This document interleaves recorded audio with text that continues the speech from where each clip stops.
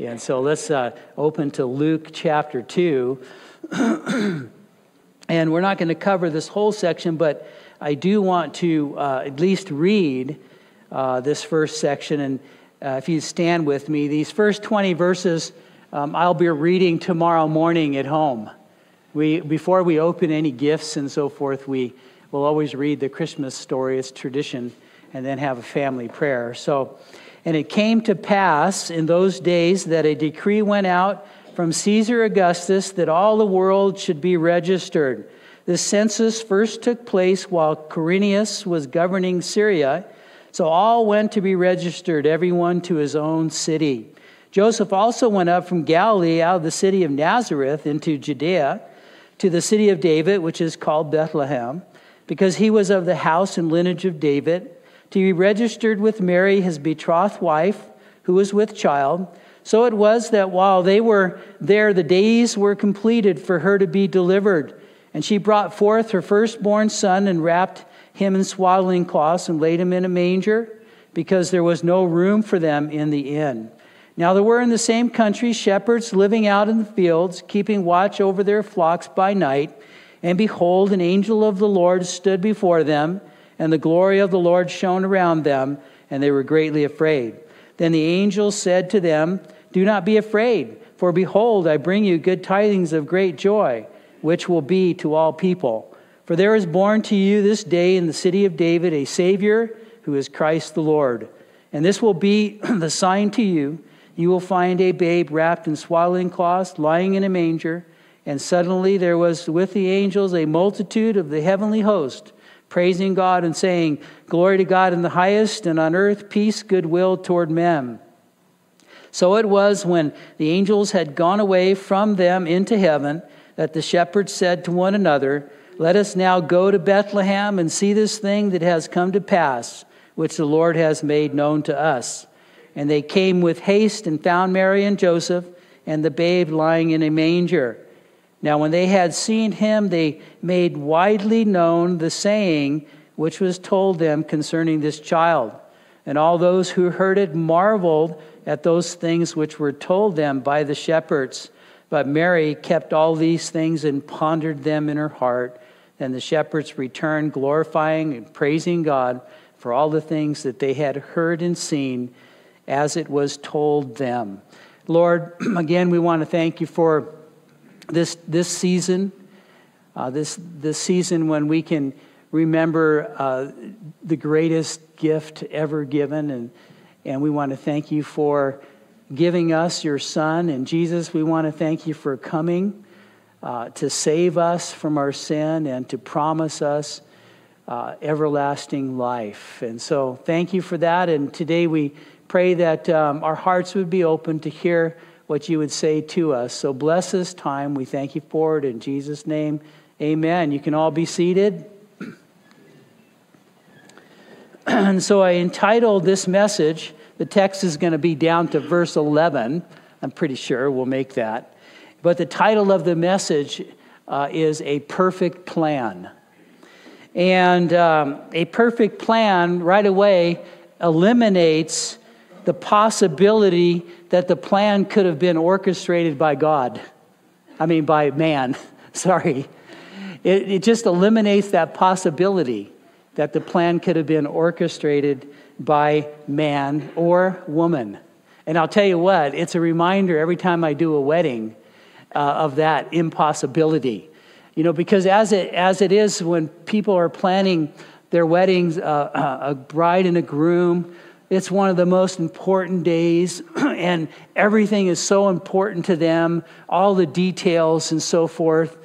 But I remember this one uh, wedding that was being planned, and this bride uh, ended up putting down all of her plans from the very beginning of the day in increments of minutes that everything would take place.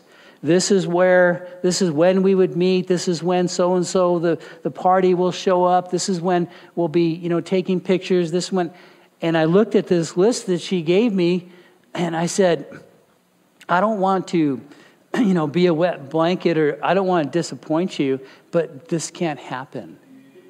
And she said, Why? And I said, Well, because you're dealing with lots of people, and every one of them will get it wrong, including yourself, I told her.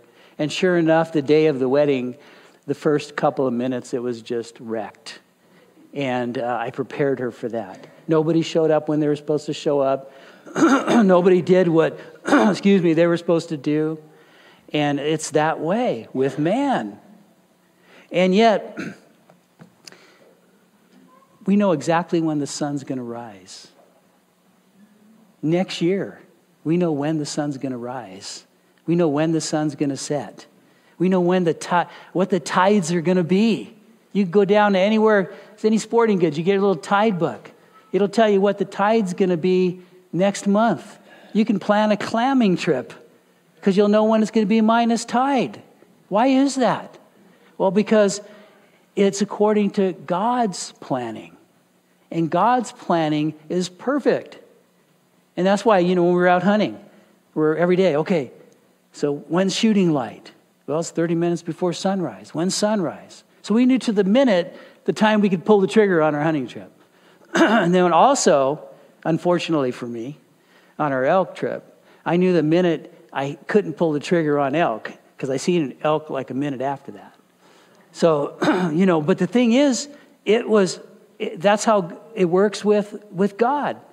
He set things in motion and it's according to his plan, and his plan is perfect. And so, when you look at this account here um, in these first seven verses to start with, we see God's perfect providence.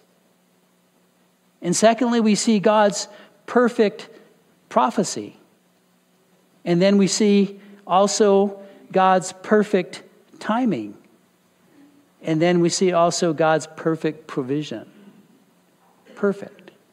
And so to begin with, you see there, it says, And it came to pass in those days that a decree went out from Caesar Augustus that all the world should be registered. The census first took place while Quirinius was governing Syria.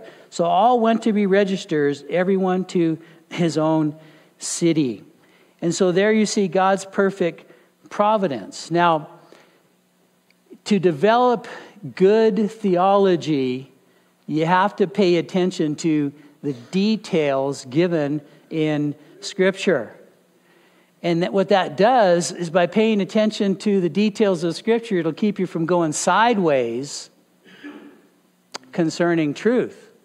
You know, as uh, you know, it even tell it even tells us in uh, Ephesians four where it tells us that, you know, what we're prone to is that we should no longer be children tossed to and fro and carried about with every wind of doctrine by the trickery of men in the cunning craftiness of deceitful plotting. Now, we're prone to that. But if you pay attention to the detail of Scripture, then you can have you can stand upon truth. And so here you see God's perfect providence, but when you read this, you would think, really? You know, here Caesar Augustus gives a decree. In other words, this is a law of a pagan ruler, a command that would then d- demand that Joseph would have to go from where he was in Nazareth down to Bethlehem to register for the tax. And you think, that's 75 miles. that's without a car, on a donkey with a wife that is almost ready to deliver. Really? Now, in God's providence, couldn't He just have the, the Roman government go to Nazareth and have, you know, put out a table and have them sign up? So, why in God's perfect providence would He cause this to happen? And so, and then you have um, God appointing governments in the perfect timing for these things to take place, but it seems like what a hassle. And then here God uses the tax system. It's another thing you're like, wow. Here God is using these particular ways to get his plan accomplished. And so, and you know, really, when you look at these things, you would think, well, is this really God? If you were in the middle of this, it would be hard for you to say, this is really God's perfect plan. This is a hassle. you know, this really doesn't make sense applied to your own life. Develop good theology. Sometimes the hassles of life in the providence of God is exactly what God has a plan and a purpose to bring you to a place where He wants you. Sometimes we're stubborn. Sometimes we like our comfort zone. Sometimes you might need to be fired so that you'll move on because God's trying to move you on. You know, hopefully, if you get fired, it's by a false accusation, not, not nothing you deserve being fired for. You know, but Christians are being fired all the time. Hey, sharing the gospel. Hey, you're out of here. For whatever the reasons. But the point being is that God, good theology is these kinds of things happen according to the will of God. So beware of the zealots. Those are the people that are against government that are against social order, that are against the law. It's only when we are forced to obey men and not God that we draw the line. But God uses, He appoints governments. You read Romans 13 later. And so here, God's perfect providence is being delivered, and then also perfect prophecy because when you read the next verses 4 and 5, Joseph also went up from Galilee out of the city of Nazareth into Judea to the city of David, which is called Bethlehem, because he was of the house and lineage of David, to be registered with Mary, his betrothed wife, who was with child. I read uh, two prophecies that were given. Uh, long time before the birth of Jesus. And um, one being in Isaiah 7:14, therefore the Lord himself will give a sign, behold a virgin shall conceive and bear a son and shall call his name Emmanuel.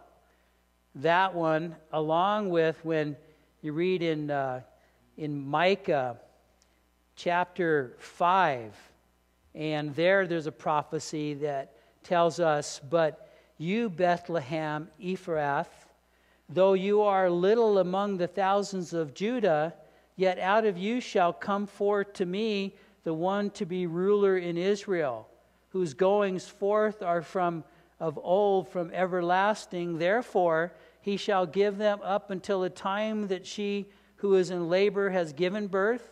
Then the remnant of his brothers shall return to the children of Israel, and he shall stand and feed his flock in the strength of the Lord and the majesty of the name of the Lord his God.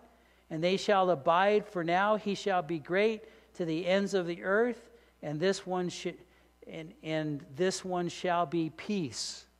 And so there's a prophecy given in the book of, of Isaiah, and uh, it's a Spurgeon that uh, he was he was talking on this or writing on this particular uh, verse, and um, let me see where I wrote it down here. He's speaking on the Messiah. Hmm, maybe I don't have my notes. Yeah, here it is. And so he's speaking uh, on, on Ephrath. And he says, Spurgeon writes, and now for that word Ephrath, that was the old name of the place which the Jews retained and loved, the meaning of it, fruitfulness or abundance, Ah, well was Jesus born in the house of fruitfulness. For whence cometh my fruitfulness and thy fruitfulness, my brother, but from Bethlehem? Our barren hearts never produced one fruit or one flower till they were watered with the Savior's blood. And so, here in the prophecy, this was, this was a, a um, prophecy that was, was very familiar to those who would study the scripture. And uh, Bethlehem was the hometown of David, you know, their, their mighty king. And yet it never really became a real influential town. And so uh, in that prophecy, it was prophesied that the Messiah would be born there. And it said there in that verse 2 that whose goings forth are from old, from everlasting. So although Jesus is born in Bethlehem, he was from everlasting. You know, and of course, uh, Revelation 22 13 speaks of Jesus being God is the Alpha and the Omega, the beginning and the end. And so um, there's one thing about about the Word of God is, and again, I want to emphasize that the author is God. It wasn't written by men. And uh, the men that were articulate in it were the penmen, you might say the stenographers uh, for the Lord. But God was the author, or is the author, and that's why the, God's word is inerrant. And um, if man was the author, that wouldn't be the case. And so even Jesus said that not one jot or tittle would pass away until all was fulfilled in Matthew 5:18. So what Jesus was saying that the word of God would be fulfilled flawlessly. And Paul writes regarding all scripture is God breathed or inspired by God, which is God breathed. And so we can depend upon it. And so also when you consider how complex the scriptures are to all work out and you have all the critics of the history trying to disprove the word, not able to do it. But what's interesting is that the scripture's written over a 1500 year period by 40 different authors, and yet it's cohesive. And it isn't contradicting itself anywhere. And even the Gospels themselves, the, the New Testament record of Jesus, even there, there is so complex that it could not be a hoax, as you know, Bible critics would say. And I like uh, what, the, what the historian Will Durant puts it. He says, um, Will Durant, who devoted his life to the study of records of antiquity, made this observation concerning the accounts of Jesus in the early church in Scripture that a few simple men should in one generation have invented so powerful, appealing a personality, so lofty an ethic, and so inspiring a vision of human brotherhood would be a miracle far more incredible than any recorded in the Gospels. After two centuries of higher criticism, the outlines of life, character, and teaching of Christ remain reasonably clear and constitute the most fascinating feature in the history of Western man. And so, not only do you have the, um, the record of Scripture uh, that has been fulfilled, but also you have even the Bible proven historically. You know, when you want to t- talk about things that are tangible, the deeper the archaeologists dig, the more little artifacts and information they gather that only proves the Word of God.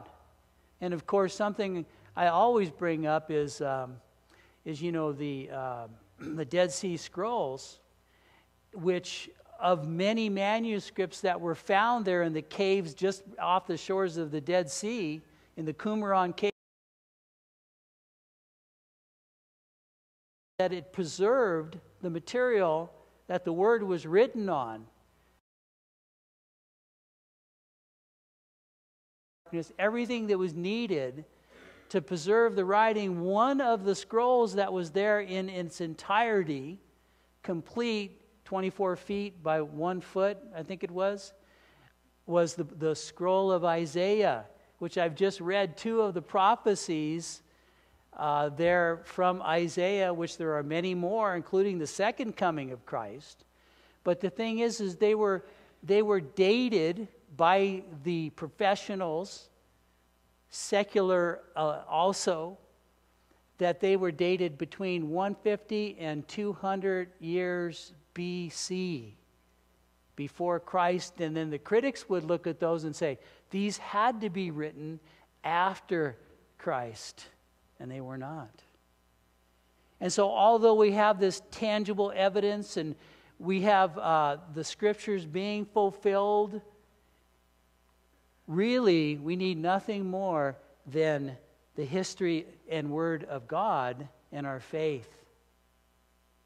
because really that is unshakable in Scripture. Just in, uh, in Romans 8 16, we just finished there, but in 16th verse it says, The Spirit Himself bears witness with our spirit that we are the children of God. And so my faith is unshakable because of the Word of God, which is a lamp to my feet and a light to my path. But when I see the fulfillment of Scripture by faith, my faith is unshakable because the Spirit of God bears witness with my spirit. And it's the Spirit of God that opens up my eyes to see the truth.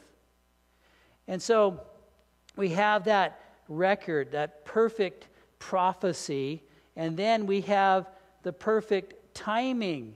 These events that took place when you read in chapter 2, verse 6, where it says, So it was that while they were there, the days were completed for her uh, to be delivered.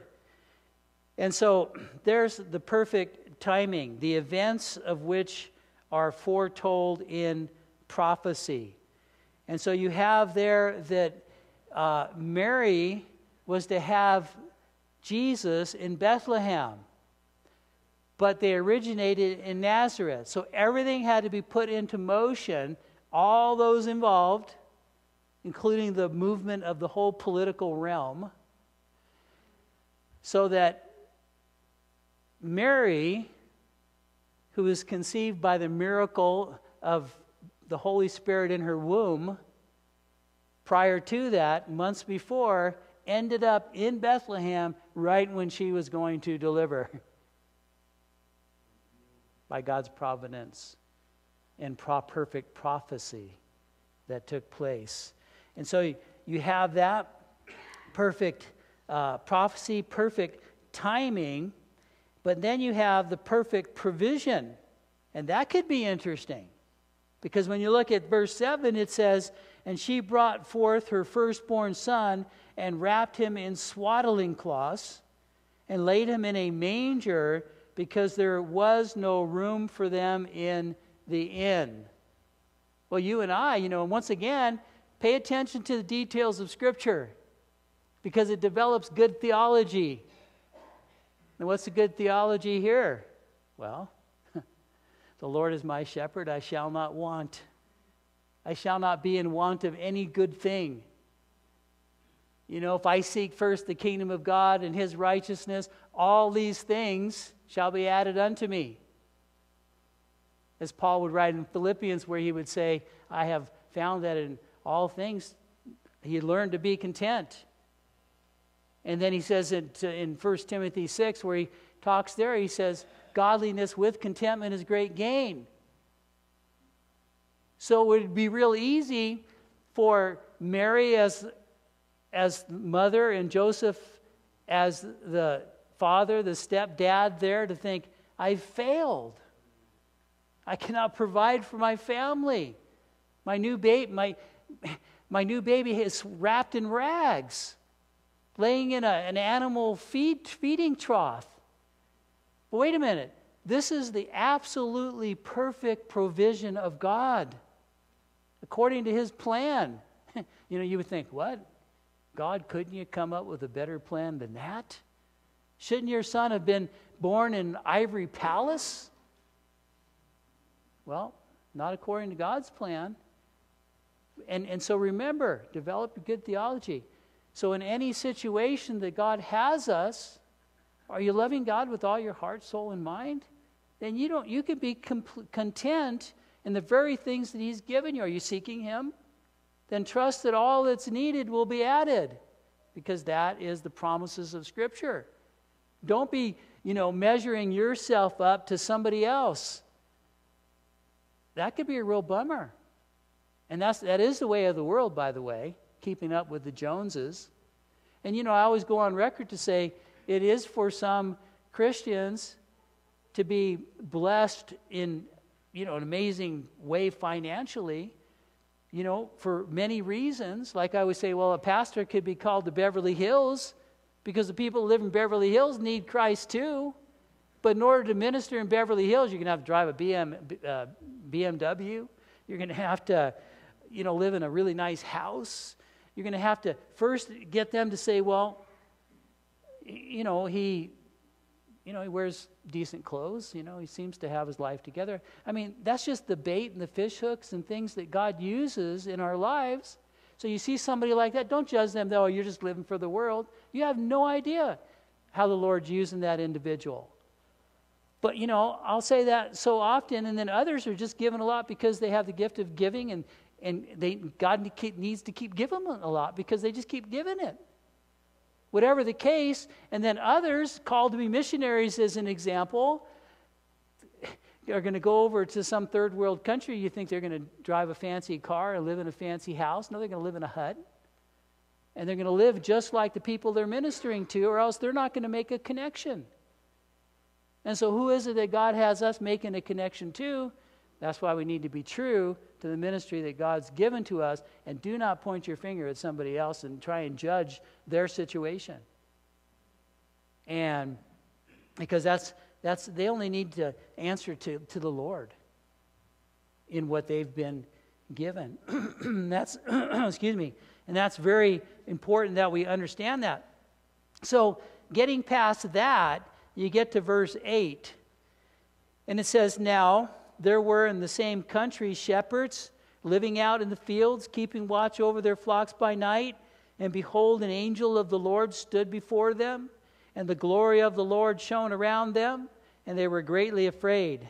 Then the angel said to them, Do not be afraid, for behold, I bring you good tidings of great joy, which will be to all people, for there is born to you this day, city of David a Savior who is Christ the Lord. And so you have there the angel sharing the gospel, declaring it. And then, of course, it's the baton is passed to us, the torch of the gospel, to continue that message. But it's interesting that the message was first shared to shepherds. And that's interesting because shepherds had a bad reputation in society. They were the ones that kind of had to stay outside of town with the flock, sort of like the, the, those who were the tanners, you know, unclean, those guys had to be out. And this is huge. Once again, developing your theology. They were not allowed to give testimony in a court of law. So the very shepherds who were given the gospel message were not even allowed to give a testimony in a court of law, man's law. I mean, man's court. So I think God's shouting here because the gospel is going forth, the gospel's going forth was not going to be regulated by man's laws. And as history has it, Christians were often and still are at risk to declare the gospel because it doesn't flow with the order of men. But as we have an example given to us, that doesn't matter. What matters is, is that the person receiving the gospel is faithful to give it. Your reputation or your social status has no bearing on it, only that the Holy Spirit would endorse, you know, empower your, your testimony. And so the gospel goes forth, and then the gospel message was that um, there is born to you this day in the city of David. And so, again, the city of David, a specific place and very familiar to the people and all those that would study the scripture. And this one, in this one place, was one person to be born. He was a sa- he is the Savior who is Christ the Lord. And so it's true that the the false message of religion is that there's many roads that lead to God. Well, contrary to that is the message of the Bible. And uh, Jesus, as he says, I am the way, the truth, and the life, John 14. And no man comes to the Father except by me. That's a very pointed, exclusive, exclusive uh, statement that he says. And then, you know, it tells us, uh, he says also, without me, you can do nothing. That's very pointed and specific. Jesus tells us in John 15, 5. And so, whether you go to the Old Testament, which I will, or the New Testament, the message is the same. In Isaiah 43 10 through 12, it says, You are my witnesses, says the Lord, and my servant whom I have chosen, that you may know and believe me and understand that I am He. Before me there was no God formed, nor shall there be after me. I, even I, am the Lord, and besides me there is no Savior. I have declared and saved, I have proclaimed, and there was no foreign God among you. Therefore, you are my witness, witnesses, says the Lord, that I am God. And then in Isaiah 44, verse 6, it says, Thus says the Lord, the King of Israel, and his Redeemer, the Lord of hosts I am the first, I am the last. Besides me, there is no God. And in verse 8, that same chapter, do not fear, do not be afraid. Have I not told you from the, that time and declared it? You are my witnesses. Is there a God besides me? Indeed, there is no other rock. I know not one. And then uh, a couple more verses in Isaiah 45, 5 and 6, where it says, I am the Lord, and there is no other. There is no God besides me. I will gird you, though you have not known me, that they may know from the rising of the sun to its setting that there is none besides me. I am the Lord, and there is no other. One more set of verses in that same chapter, Isaiah 45, verse 21, it says, Tell and bring forth your case. Yes, let them take counsel together. Who has declared this from ancient time? Who has told it from that time? Have not I the Lord, and there is no other God besides me? A just God and Savior. There is none besides me. Look to me and be saved, all you ends of the earth, for I am God, and there is no other. I have sworn by myself, the word has gone out of my mouth in righteousness, and shall not return, that to me every knee shall bow, and every tongue shall take an oath. Now, I read all those out of Isaiah because of the scroll I just mentioned. There isn't many ways to God. You know, there's one. And of course, you, you know, if you turn to the New Testament, and once again, there's, there's many, many verses. I'm just going to read one, and that's in Acts 4:12 that says, "Nor is there salvation in any other, for there is no other name under heaven given among men by which we must be saved." Speaking of Jesus Christ. And so so Jesus born in Bethlehem, he is he is the savior, the only savior he is God. He is the Christ, which means the Christ there, it means the promised Messiah. Because if you go back to the Hebrew language in the Old Testament, Messiah meant the anointed one. The counterpart to that in the New Testament is Christos, Christ, which means the anointed one. And so he came Christ the Lord, the promised Messiah. And it's interesting because the, the Jewish people, they understood that they were to wait for their Messiah. He was promised to them. You go all the way back to Genesis. The promise went to Father Abraham, their father in the faith. And God promised to Abraham that in him and his descendants all the world would be blessed. And then God told David that I will set up your seed after you, and your house and your kingdom shall be established. Then you go all through the Old Testament, the promise and the fulfilled prophecy of the Messiah, some of which I read. But then when you go to the New Testament and you look at what Jesus says in making the connection there in Isaiah to himself in Luke 4 18 and 19, where it says, The Spirit of the Lord is upon me because he has anointed me to preach the gospel to the poor.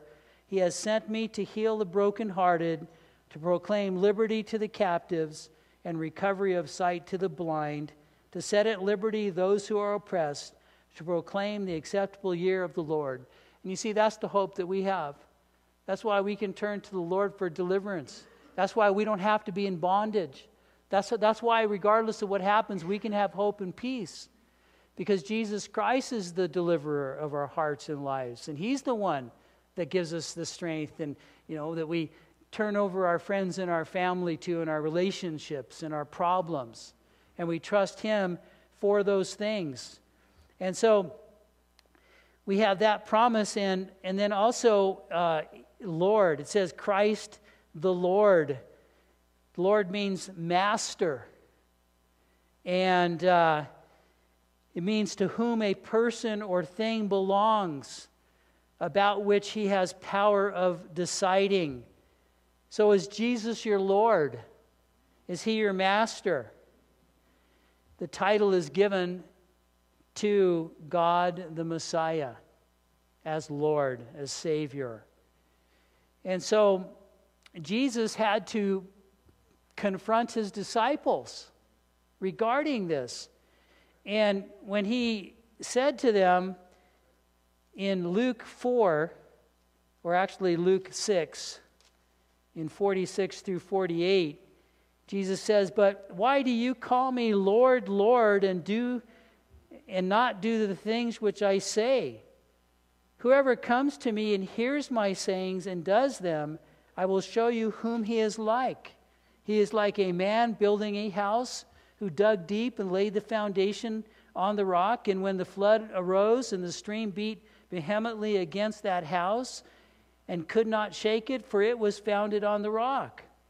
But he who heard and did nothing is like a man who built a house on the earth without a foundation, against which the stream beat vehemently, and immediately it fell, and the ruin of that house was great.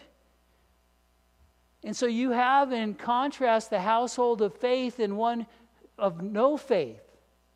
But you notice the storm is the same. One would stand, the other fell. And Jesus says, Why do you call me Lord and you don't do the things that I ask? He was talking to his disciples. And then he said this in, in John 13, verses 13 through 17, last verses, and we're done. You call me teacher and Lord, and you say, Well, for so I am.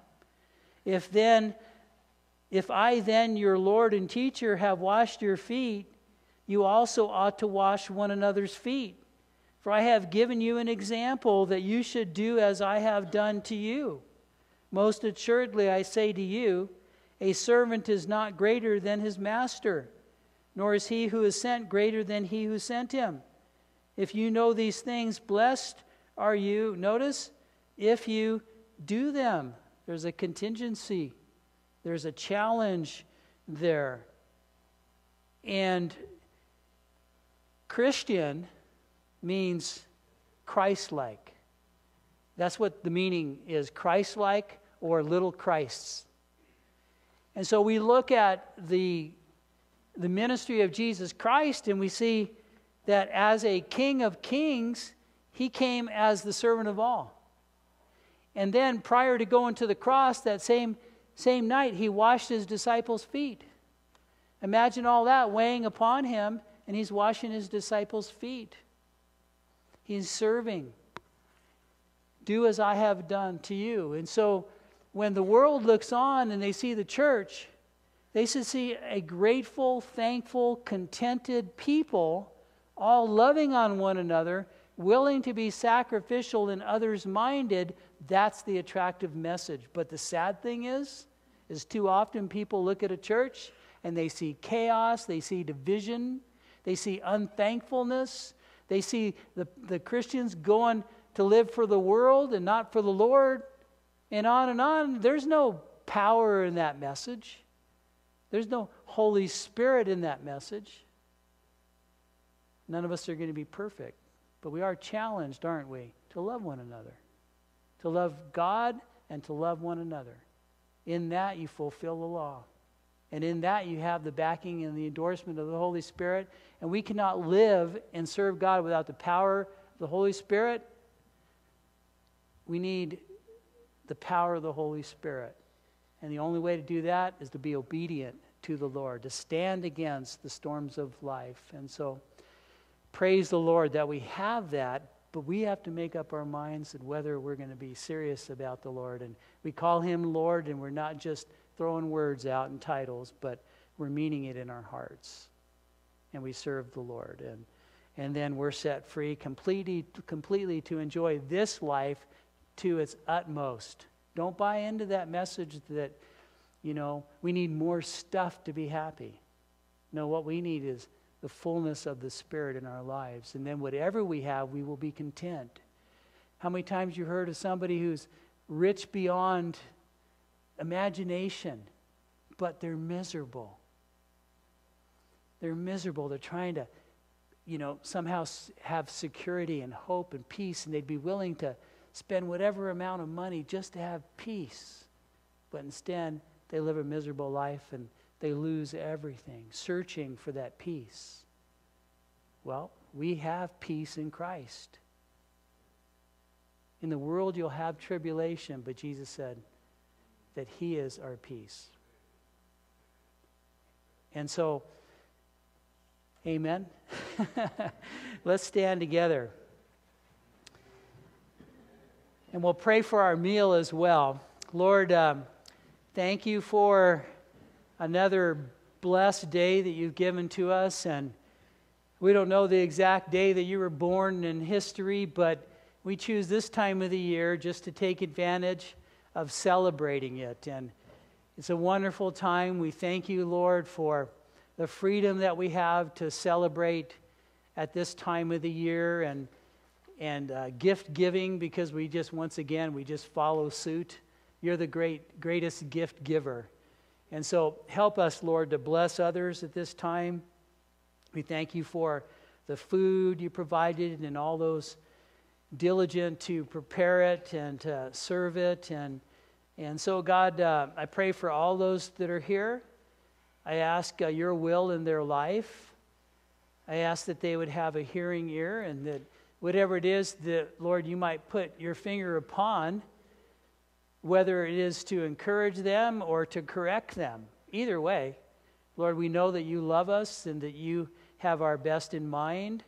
And so I pray for all that are here that, Lord, you would have your way in their life. So we thank you that we can call upon you. In Jesus' name, amen. God bless you. Amen.